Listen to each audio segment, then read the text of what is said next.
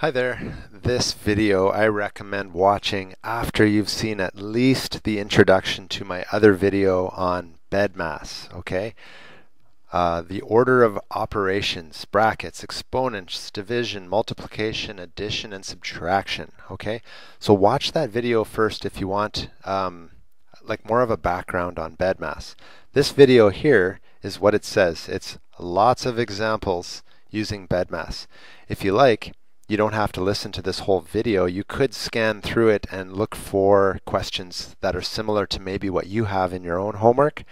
But I'm going to start whipping through these quickly. Wouldn't be surprised if I make a few mistakes along the way because I'll be going kind of quickly.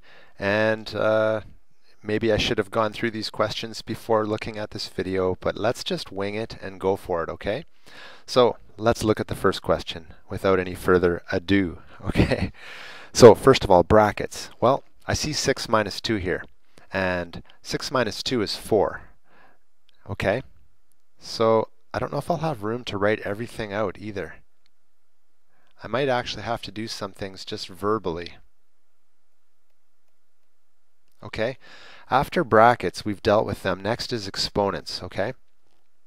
So, um, yeah, it's, it is going to be a tight space here.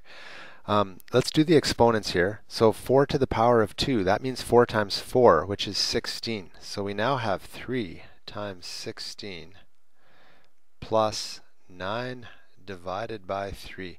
At this point, we just have multiplication here and division here, and that's what we need to do next. Multiplication, sorry, division and multiplication. And uh, I just do them left to right. So um, 3 times 16. We can quickly do that. If you don't want to do it on paper, we can just, or we could have done that in our head, I guess, but there we go. 48 plus, well, 9 divided by 3, that's nice and easy, 3. So the final answer in this question is going to be 48 plus 3. That should be 51. Hopefully that is correct. Okay? I'll just circle it when I'm done. Let's move on. Uh, should we go left to right and then like that? Sure, sounds great. Okay, this one has no exponents to deal with. Um, there is multiplication right here. We got to deal with that before we do um, addition or subtraction. So we have 5 minus 2 times 3 is 6 plus 1. Then we just go left to right, okay? So 5 minus 6 is negative 1. Wow. Negative 1 plus 1 is 0. So 0 seems to be the final answer here. I know I'm going to get lots of comments if I end up messing up some of these. Now, the next one. Multiplication, addition, and then multiplication again. Just multiply. I'm going to try to do this with less words. 12 plus 32, well, 42 plus 2 is 44. That should be the answer there. This one here, what should we do first? Well, 3 squared we're supposed to do first because it's an exponent. 3 times 3 is 9. Just be careful, 3 to the power of 2 is not 6. A lot of people make that mistake. And 2 times 8 is 16. Whoops, almost wrote an, an 18 by accident. And this plus this should be 25. Okay, let's keep motoring along. 100 minus 6 times 3. Well, it's 100 minus 6 times 3 is 18. What's 100 minus 18? If you have, uh, if you're able to do this in your head, please do it. And if you're telling me that the answer is 82, I would agree with you.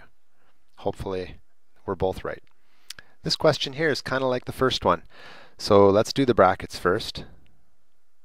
5 minus 3 is 2 squared minus 6 times 2. Okay, well, we don't have enough room here, so I'm just going to... Hmm, 2 squared, that's like saying 2 times 2 is 4, and 4 times 4 is 16, minus 6 times 2 is 12. The final answer here should be 4. All right, let's move on to the next page because time is of the essence. Should I use blue here? Can you see that? I'll use yellow. It's It just shows up better. Okay, I will let you read this if you like. Um, it's just saying that you can include the whole top once you figure out, in other words, figure out the numerator, figure out the denominator, and then and then deal with that situation. Okay, so let's just look at the numerator first of all. Um, if we look across the top, we see multiplication, negative 5 times 3. Do you see that? Okay, well that's negative 15 minus, now we have 6 times negative 2. So 15, negative 15 minus 6 times negative 2 is negative 12. And on the bottom, what do we have? 3 cubed divided by 3 squared. Wow, they're like they're they're really enjoying making some crazy looking questions here. 3 to the power of 3. Okay, that's like saying 3 times 3 times 3 and over here is just 3 times 3. Um, yes, there are math videos I have on how to deal with this in a very quick way when you have the same base we just have to subtract the exponents. But if I start talking like that, I'm afraid it's going to be confusing. So let's just go 3 to the power of 3 is 27 divided by 3 to the power of 2, which is 9. And luckily for us, we can, we can simplify this situation. Okay, Since we just talked about it on the bottom, what is 27 divided by 9? It's 9 times 3 is 27, so 27 divided by 9 would give us 3.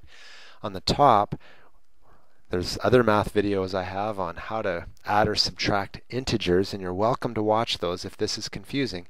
But whenever you have two minus signs or two negative signs like this, um, you add the opposite or you just change the signs, okay? You can add the opposite. It's like saying negative 15 plus 12. So the answer should be negative 3, and it happens to be over 3. Wow, this question suddenly looks a lot easier. This divided by this is just negative 1, and that's our answer. We must have done this one right. That makes me feel good. Okay, next question. Oh boy, there's three here. And look at them. Okay, don't let it overwhelm you. One question at a time. Keep your eyes on just one question at a time. And let's keep going. Here we go. 5 minus, what's inside the brackets? Wow, they're throwing fractions at us here. Is your teacher giving you questions like this too? Wow. So to do this question, you need a common denominator. So you need to watch a video that I have previously posted on how to subtract fractions. If you already know how, that's fantastic. So what you're going to do is our common denominator is going to be 6. So because the common denominator is 6, I should have used a different color pen, like a purple here. The common denominator is going to be 6. 2 times 3 is 6, so you have to multiply the top by 3. And 3 times 2 makes 6, so multiply the top by 2. So it's like saying 3 minus 2 over 6. 3 minus 2 is 1, and the 6 just stays the same when you do that. And that is squared. And let's keep going. There's our equal sign. We're just going to keep lining up here. 5 minus, what is 1 sixth times 1 sixth? Again, the last video I did was on multiplying fractions. So just, or two videos ago, it was on multiplying fractions. So to multiply a fraction by itself, it's like saying 1 times 1 is just 1, and 6 times 6 is 36. Or you could say that little exponent 2 goes here and goes here to meet everybody inside. And 1, time 1 to the power of 2 is just 1. 6 to the power of 2 is 36. Now, oh, this question just keeps on trucking. We need to make a common denominator. So underneath the 5, we have an invisible 1 there that I just wrote in. So if we wanted to make a common denominator of 36 for both, what is, well, we had to times 1 by 36. So we have to multiply 5 times 36. Okay? So if you take a calculator and do that, you should get 180. Feel free to push pause and do that if you like. And then we have 180 minus 1. It's 179 over 36. Not a pretty question, people. And 179 over 36. Um, we can make this into a mixed number to finish it off. I don't think there's a number that we can divide to uh, reduce this. So we're going to keep the 36 there. 36 times what would get us very close to 179? 36 times 4. And on the top, 36 times 4, what would be left over? So 36 times 4 is 144. So 179 minus 144 is 35. We are now done this question. That was kind of a ridiculous question. I wonder if your teachers are giving you stuff like that. Let's move on. Let's try to get over this one and move on. okay. Wow. I just randomly picked some of these questions to do with you, and I probably should have looked at them first before going about it. All right, we've got square brackets here, which means let's do the inside of these square brackets first before going out to this one third here. Wow. So, wow, that's crazy. We need a common denominator here. So 7 times 6, that will be 42. So we're going to have 42 as our common denominator. I could even write that in right here. Now I'm feeling bad for you guys having to watch me do this. It's painful. Now, 7 times 6 is 42, so 10 times 6 is 60. 6 times 7 is 42, so we have to also go 5 times 7 as well, which is 35. Wow. And we need to figure this out first.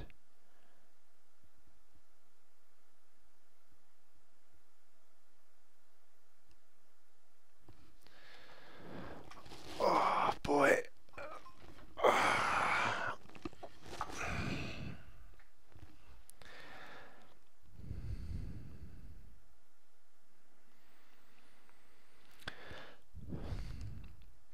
Okay we do not seem to have enough room to do this question because we have to finish this question. Then we have to take that and multiply it by 4 over 1 third. Sorry, 4 over 3. And then after doing all of that, we have to multiply by 2 thirds. Wow. So,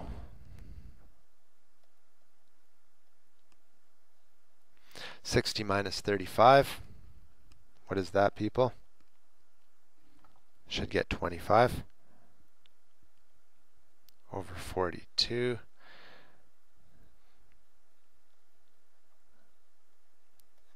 times negative one third, or sorry, 4 over 3 plus 2 thirds. Ah, let's keep going. Sorry, people you don't luckily for you you don't have to do this question but I started it and it's like I have to continue it now. It's like I'm stuck. So what I did is I went 25 times negative 4 I get negative 100 and 42 times 3 is 126 lovely. Plus 2 thirds Can 3 multiply to become 126? I'm just going to check on my calculator here. Yes, it can. 3 times 42 can become 126. So if I multiply the top and the bottom here by 42, then we will be able to um, have a common denominator.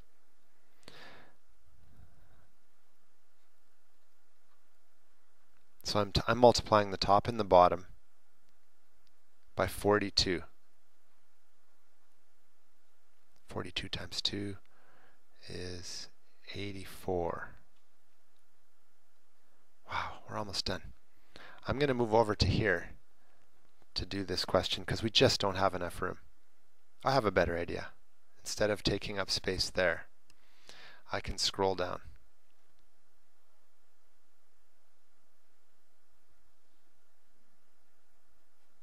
Okay. We'll just keep scrolling down. It says extend page. There we go. Crazy, eh, people? Okay. Negative 100 plus 8. Well, that should give you a negative 92. over 126. I'm getting tired here.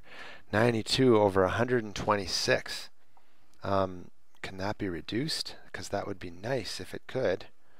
Um, let's see. It can. We could divide each of these by 2 to give us 46 over 63. And we're subtracting here. Let's go up to the top to make sure to verify that we really are. Yes, we are. We're going one third minus this. So 3 times what would be 63? 3 times what would be 63?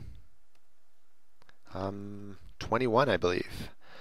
So, if we multiplied both the top and the bottom by 21, I don't know why I just changed it by accident, but people, we're getting close to the end of this question, and I'm just so excited because it was it went on way longer than I wanted. So 21 minus 46 is going to give us a negative number, negative 25 over 63. I'm not sure if we can reduce that. Um, it cannot be reduced. I've just tried it out a little bit on my calculator and I can't think of a number that divides both of these. So there's our answer. It may be wrong, but I'm just going to accept that right now and keep moving on because I should have, I really should have done that question before talking to you. I apologize. Let's do the next one. 44 over 4. First of all, 44 over 4 is just 11. But before we really look at that 11, I'm just going to draw that line there. We should really do the brackets first. So yeah, we could, it's okay. We're just going to leave that off to the side. 27 divided by 3, we can do that right now off to the side here. We're not really, we would have had to do it anyway, 27 divided by 3 is 9. At least that's friendlier than the last question. Okay, plus. Now, 4 times, what's 8 minus 5? 3. Okay, so we have 11 minus 9 plus 4 times 3. It's 12. Oh man, this one's so much quicker than the last question. 11 minus 9 is 2, and 2 plus 12 is 14. Wow. So much nicer. Why couldn't the last question have been like that? Okay, stop complaining. Let's look at this question. okay, let's do the brackets first. 4 minus 9 is negative 5. I'm going to do this verbally now, people. Negative 5 squared, well, that's like saying negative 5 times negative 5. Okay? So negative 5 times negative 5 is 25. So we really have 100 minus 120 times 25 on top. And then on the bottom, we have negative 10 squared, which is really like saying negative 10 times negative 10, which is 100. Okay, let's deal with what's on top first. It's 100 minus now take a calculator if you want and just go 120 times 25. It's 3,000. All of that over 100. Let's deal with the top first. 100 minus 3,000 is negative 2,900 divided by 100. So the final answer, whenever you divide by 100, you just move the decimal over two places you get negative 29 and we're done. Let's keep going. Wow.